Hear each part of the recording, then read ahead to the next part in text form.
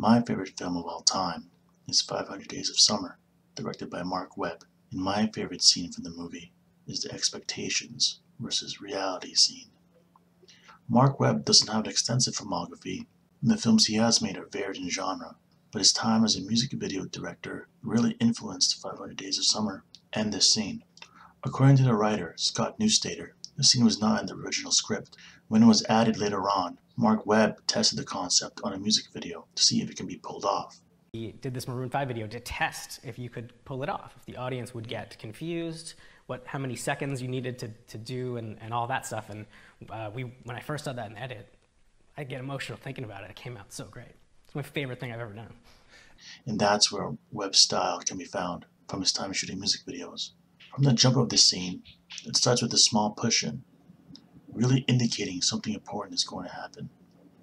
That we're being invited or sucked into the main character Tom's world.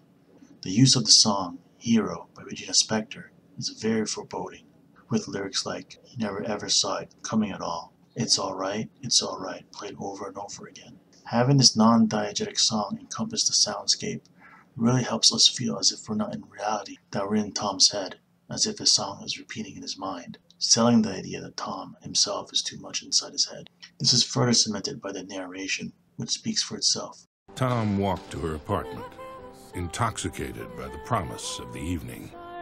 He believed that this time his expectations would align with reality. The iconic split screen starts, and what I find interesting is that they don't play in sequence from the beginning. We see expectations first, and from this side we see Tom walk up the stairs really quickly, as if in Tom's mind, He's going to run up and easily sweep Summer off her feet.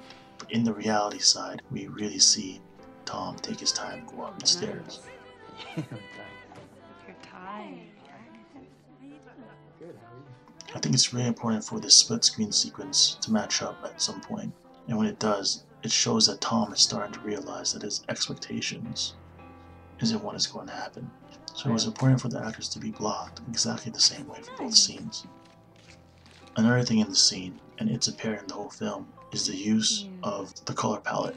Tom's color palette is always in dark colors, brown and gray, while Summer is always seen in broader colors like blues and whites. Just from this color palette alone, we know that Tom and Summer will always have a disconnect.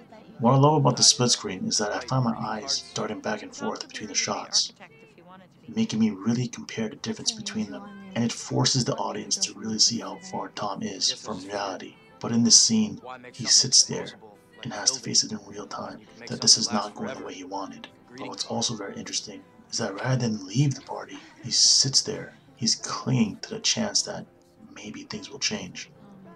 Oh, Until he sees the ring.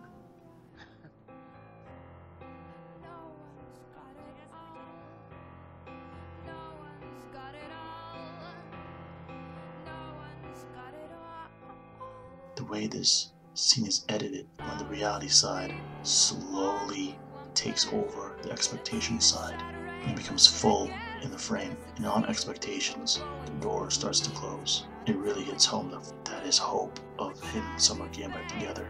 It literally closes the door on him. I really love this little cut when Tom sees the ring and the shot cuts as soon as his lips move. That slight reaction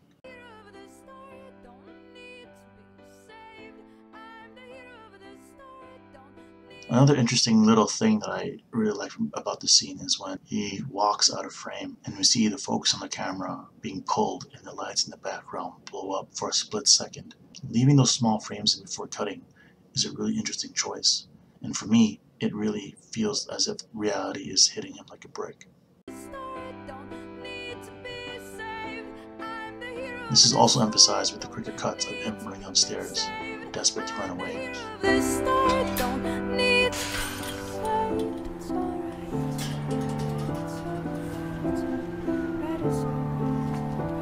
As he leaves and he's walking down the street, we hear the fence door hitting against itself, emphasizing the force Tom had to burst open the door. What's also interesting is that other diegetic sounds are absent, except for the sounds of an ambulance.